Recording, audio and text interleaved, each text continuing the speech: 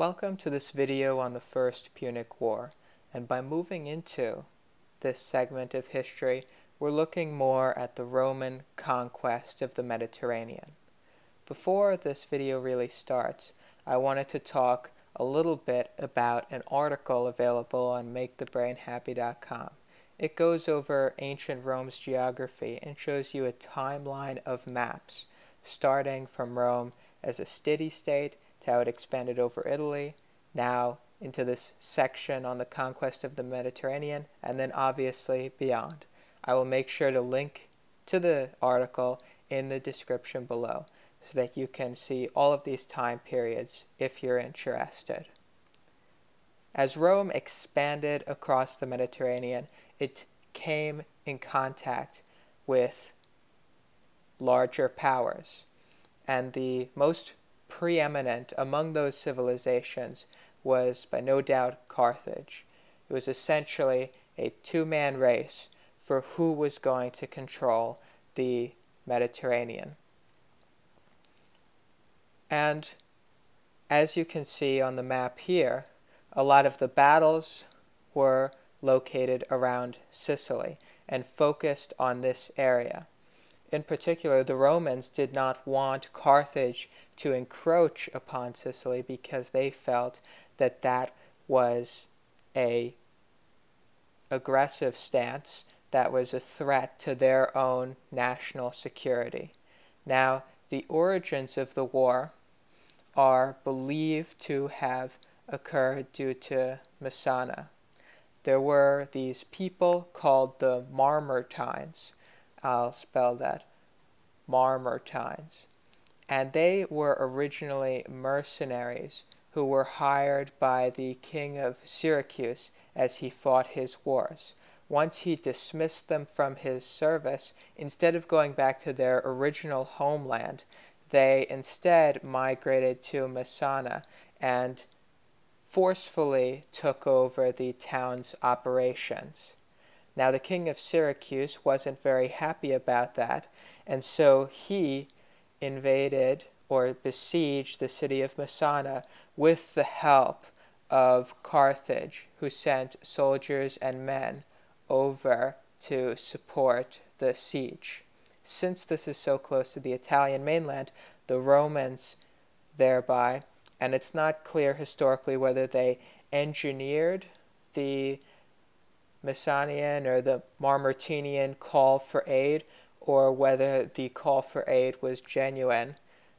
But the story goes that the Mamertines asked Rome for help against Carthage and Syracuse.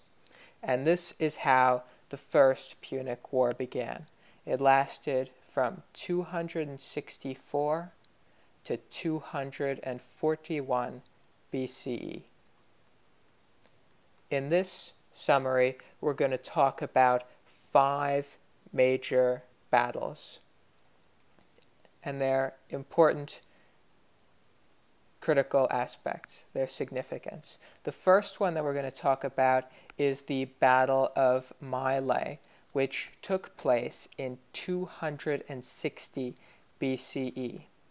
This was the Romans' first naval victory. Their commander was Gaius Duilius, and their victory was so significant that they erected a column in the forum to honor their commander. Now, why was this victory so significant? Well, the Carthaginians were descended from the Phoenicians, also known as the Canaanites, who lived on the right side, on the eastern side of the Mediterranean, where people would consider modern day Israel to be. These Carthage was originally a colony of a Phoenician city, but after that city fell to Alexander the Great, Carthage became an independent, originally city state and then later empire. The Phoenicians had a long and storied history with ships and sailing. They were some of the most successful traders in the Mediterranean.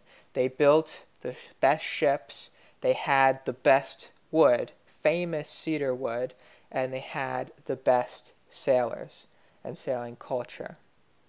So for Rome to defeat Carthage in a naval battle when Carthage had all of this legacy and history behind it was quite significant and boosted Roman morale within this conflict. The second battle that we're going to talk about is the one at Cape Ecnomus. The Romans Manlius Vulso and Atilius Regulus defeated Carthage. It took place in 256 BCE. Remember the name Regulus. He's going to show up in the next battle, which is the Battle of the Bagradas Valley. Essentially, due to the earlier victories, the Romans began to feel pretty confident, and they sent a mainland army here at Apsus in modern day Tunisia. They were essentially going to threaten Carthage on land, where the Carthaginians, in a sense, had the disadvantage. The Romans were known, were famous for their legions and for their tactics within land battles. And at the Battle of Adys Regulus, who was the commander of these forces, is victorious against the Carthaginians, which is quite makes the Carthaginians quite desperate because he was very close to their city. And if Carthage fell, then their civilization, their empire would be ruined. But in 255 BCE, at the battle, and as I said, Bagradas Valley, Regulus is defeated by the Spartan mercenary Xanthippus, X A N T H I P P U S, who had been hired to lead the Carthaginian forces. Regulus is captured along with 500 other men. He is sent back to Rome, across the Mediterranean, to convince the Romans to surrender to Carthage. Regulus tells the Romans, No, keep fighting. You've got the Carthaginians on the ropes. Regulus, due to Roman honor, is sent back to Carthage, where he is killed, executed. This becomes a parable in Roman culture for what it means to be honorable and truthful.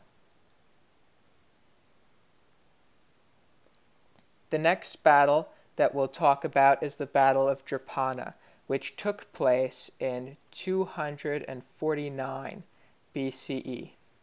The story goes that the general Publius Claudius Pulcher threw sacred chickens into the water because they were not eating, which was, according to the religious signs and the guides, was a bad omen. And thereafter, he was defeated in battle by the Carthaginian Adherbal. And the fifth and final battle that we'll talk about.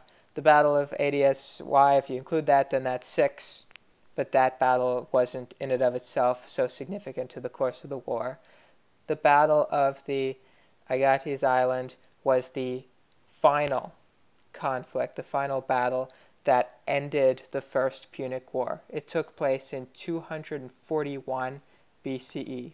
The Romans, led by Lutatius Catulus, defeated Hanno the Great. And thereafter, the First Punic War was ended.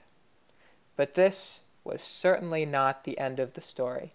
The First Punic War lasted an entire generation and generated an incredible amount of hostility and animosity between Rome and Carthage.